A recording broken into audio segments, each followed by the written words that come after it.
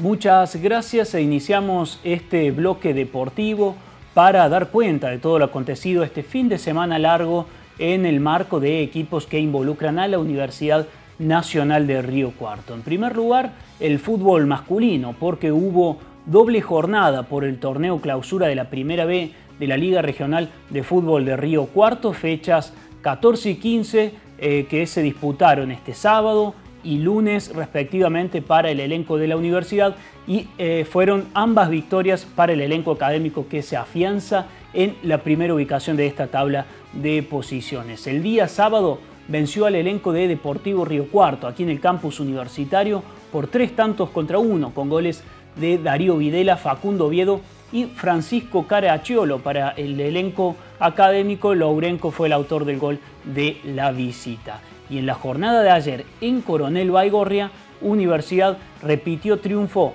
esta vez por 2 a 1 en condición de visitante, con los goles de Fabricio Aba en contra, para, a favor de, la, de Juventud Unida, mientras que Hugo Fratari y Fabricio Aba para Universidad le dieron cifras definitivas a este 2 a 1 a favor de la universidad y decíamos, se afianza en la primera ubicación con 37 unidades, seguido por Charrense Fútbol Club con 32, aunque hay que aclarar que Charrense jugará esta noche para completar su fecha pendiente. Las siguientes posiciones son Juventud Unida de Coronel Baigorria con 28, Sportivo Municipal con 27,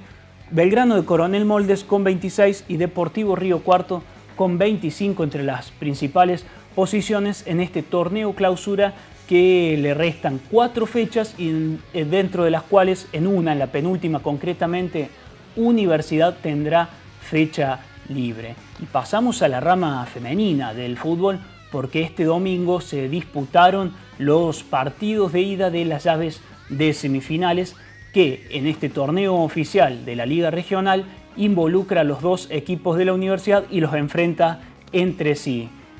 el resultado concreto para este partido de ida de semifinales fue de triunfo de Universidad Verdes por tres tantos contra dos ante Universidad Blanco. Los goles fueron de Rocío Arcostanzo en dos oportunidades para el elenco blanco, mientras que para el verde, el ganador, los goles fueron de María Donda, Leticia Galíndez y Daniela Villarreal. Los partidos de vuelta de este torneo oficial se van a disputar el próximo domingo. Y la última información tiene que ver con este importante encuentro de softball, la Copa Río Cuarto de la rama masculina, que se disputó desde el sábado hasta la jornada de ayer en los dos diamantes del campus universitario. ¿Cómo quedaron las posiciones finales? Katza de Paraná fue el elenco que se quedó con el número uno dentro de esta Copa de Oro al ganarle en la final a Atza, también de la misma ciudad, por ocho carreras a siete mientras que Estudiantes quedó en la tercera ubicación y Capital en la cuarta ubicación. El elenco anfitrión, Universidad, quedó en la segunda ubicación de la Copa de Plata, fruto de un récord de dos victorias y tres derrotas en este importante torneo de la Copa Río Cuarto de softball. Y este ha sido el resumen de todo lo que ha sucedido este fin de semana en materia deportiva.